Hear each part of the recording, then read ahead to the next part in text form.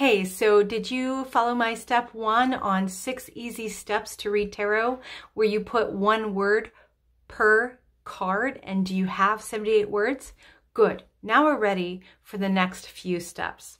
And remember, my six step process is really about getting you to read as intuitively and comfortably as possible without engaging your anxiety, because your anxiety will kill that intuitive reading process.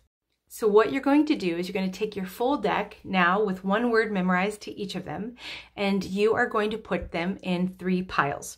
The first pile is all of the minor arcanas, ace through 10.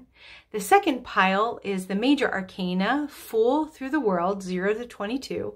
And finally, all the court cards of the minor arcana, they're going to be in a third pile. So you should have 16 in that pile, 22 in the middle pile, and 54, I believe, in the minor arcana pile.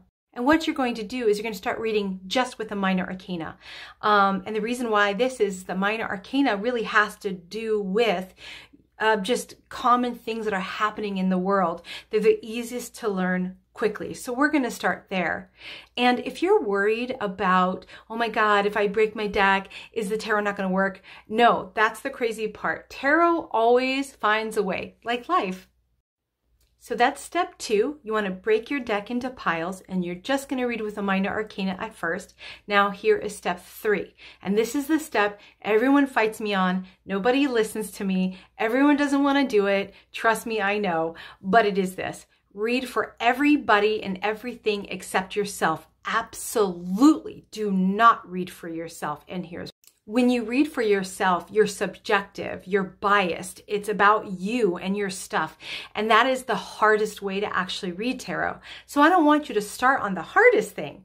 I want you to start on the thing where there's a natural easiness, which is reading for everything and everyone else. Because when you do that, you are really leaning into the objectivity that you already have. So you'll know that what's coming through is really coming from the cards and not just your opinion or your bias. So what you want to do, read for anything going on in the news, read about the weather, read about the new ordinances, read, read about what's going to happen with your HOA situation, read about anything and anyone. Uh, sometimes I like to go to the subreddit relationships if people have posted. To me, that is about really making, uh, giving us permission to maybe take a look and, and do a reading on the situation. Remember, everybody but you. And also, don't go spying on your ex, okay?